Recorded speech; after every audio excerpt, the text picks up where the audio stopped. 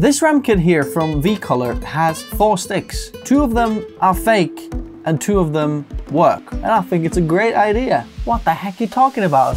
Well, they also sent this random thing, which I have no idea what that is.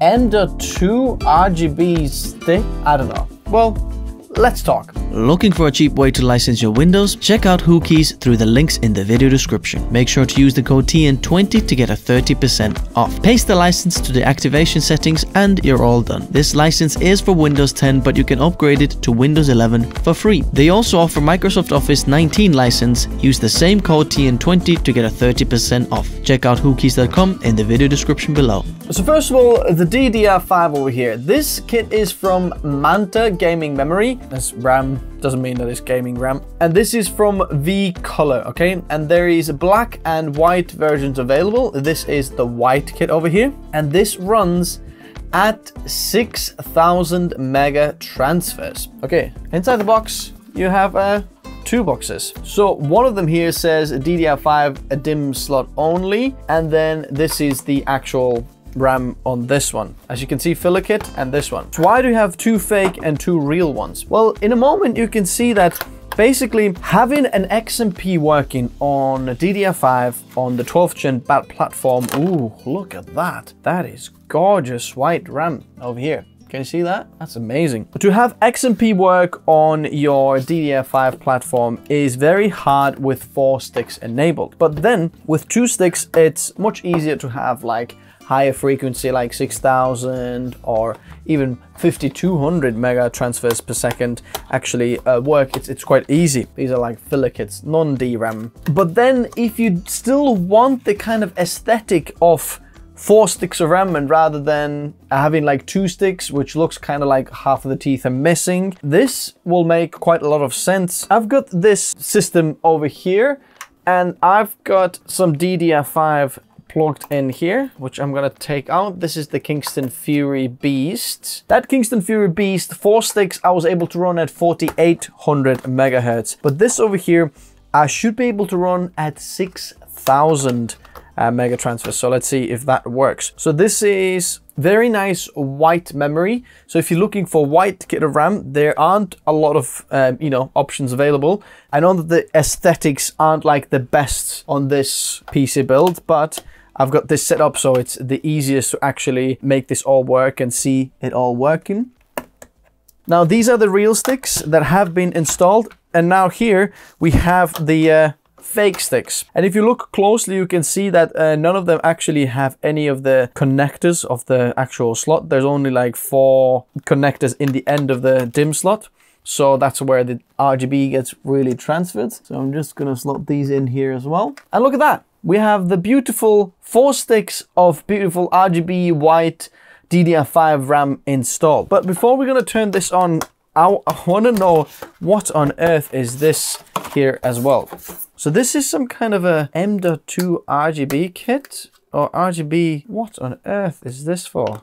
Literally just an RGB stick or something like that. I think I've got an idea what we're going to do with this. So I'm actually going to take the GPU out over here. This is the Asus RTX 3080. It's just in the way for us at the moment. Have you seen this video yet? Go check out the video. But because we have integrated graphics in there, we can actually use the iGPU to actually turn this on and see how it works. So what I want to do is take this cover off and now plug this guy in there. And I just want to see what on earth is going on in there. This connector kind of doesn't even properly work. So I'm to leave it just like that. This is to work. Look at that. What on earth is this? So basically, instead of putting an actual NVMe M.2 drive for your, you know, M.2 slot, um, why don't you just have this RGB little stick for your M.2? I mean, it's interesting. Absolutely useless, but for those who think RGB gives you HP, then uh, I guess that works. So then, here we are inside the system. uh, as you can see, we're running two slots out of four used, 6000 megahertz. That's the fastest RAM I have used, fastest DDR5 I've ever used. You don't actually have to use the dummy slots in order to get this working.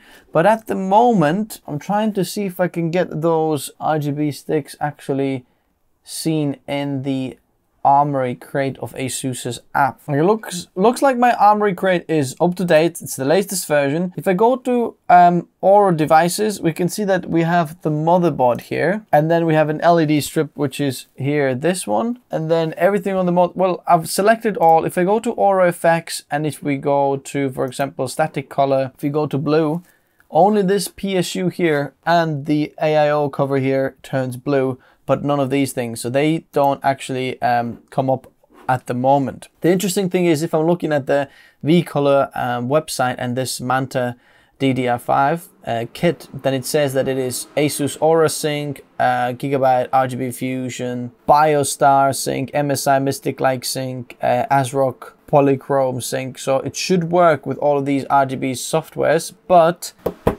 don't know. Why is it not working for me? I do think it's an interesting RAM kit, an interesting idea, and I think there should be more options like this available for every every single piece of you know RAM because I think this looks much nicer with four um, sticks in there rather than two, and to have this fast RAM as well, it's amazing. For create this though, I think 32 gigabytes is like the absolute minimum you want to go for. You want to go with like 64 gigabytes and above. If you're doing very simple stuff and maybe simpler photo editing or simpler timelines for video editing, then 32 gigabytes is fine. But I'd really like to see a 64 gigabyte kit. So if I had two sticks, for example, and then each of them is 32 gigabytes in size or capacity, then I'd get 64 gigabytes and I'd be much happier with that type of capacity. But at the moment, I do wish that uh, I could control this RGB VOM because I'm not a big fan of this RGB VOM type of thing that's going on. So in conclusion, I think the RAM is interesting. I like the idea of having two dummy sticks because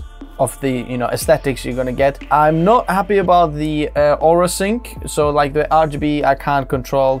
This M.2 stick I think is completely random. Like if you make an RGB stick, like let it be completely RGB. Why have a massive V color sticker on the top of there? I think this makes it like very very low quality I don't know. I personally am not a, like a big fan of RGB stuff. I mean, would be interesting to know if maybe if it works on like an e external enclosure or something like that. I don't know would make much more sense if it was some kind of heat sink for the actual M.2 as well, but at the moment it's literally taking just one M.2 slot off the motherboard so you can have a little bit of RGB. I don't know. I'm not a big fan. I want to run the Photoshop benchmark with the XMP on and XMP off because that is actually um, quite a big difference in terms of like the RAM speed and in Photoshop when you're editing with photos it does make a lot of difference whether you have fast RAM or not. So I'm gonna put the um, Asus RTX 3080 back here. So give me a minute, I'm gonna run the two Photoshop benchmarks with XMP and without XMP so we can actually see the difference of the XMP and how much um, does it change. So then, okay, I've got the benchmarks done for the Photoshop and interestingly, I've got some um, very interesting results here. And if you're a creator, these are especially important for you. So on the left side, we have the um, XMP enabled at 6000 megahertz. And then on the right side, we have 4800 megahertz. So basically in here, as you can see, the difference isn't that different. And uh, the 4800 megahertz one over here is actually getting slightly better filter score, which I think could be like the margin of error. And I'd expect the 6000 megahertz one to get that as well in here. But the interesting thing is that the GPU score on the 6000 megahertz is much higher than the um, 4800 megahertz, like about 10 points better, which could be because it's using the iGPU in some of the things as well inside there, and because of the 6000 megahertz um, RAM is also used in uh, as you know system memory and the um, GPU memory when using the iGPU it could be that that's why it's much faster in the GPU there because we're just using the Asus Noctua RTX 3080 in here. Check it out in the description below, by the way and that's not going to be like any different as you can see RTX 3080 so the 6000 megahertz is faster. About 1.2% faster in here in the initial like two benchmarks that I did. Is this worth it for creators Not really, but the DDR5 is. Compared to DDR4 and DDR5, there is quite a bit of a difference. So if you're going to go with DDR5, you don't really need to worry about kind of the frequency at the moment because 6000 and 4800 megahertz, they perform within like few percent of each other. Obviously, if you uh, do multiple tests, we could see a little bit more data and see it.